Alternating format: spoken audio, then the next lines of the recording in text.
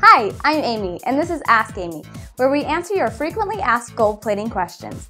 Today we have a question from Deborah in Ontario. Deborah asked, what is brush plating? I'm glad you asked this question, Deborah. We have many people call and ask us the same thing.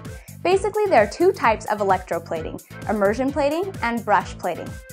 With immersion plating, the item being plated is dipped into the solution containing the gold. This is also sometimes referred to as dip plating. With brush plating, the solution containing the gold is carried on an absorbent sleeve to the item being plated. Both types of plating have their benefits. Immersion plating allows you to plate many small parts at one time.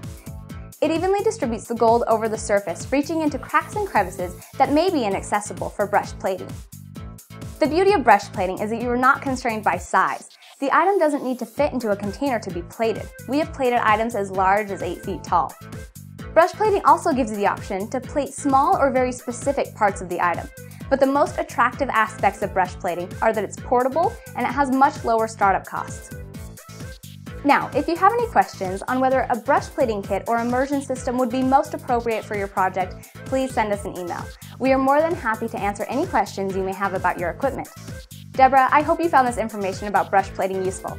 I look forward to discussing more hot topics like this in our next segment please subscribe to our YouTube channel, like us on Facebook, and follow us on Twitter. You can also email us any questions at askamy at goldplating.com. Thanks again for watching Ask Amy. We'll see you soon.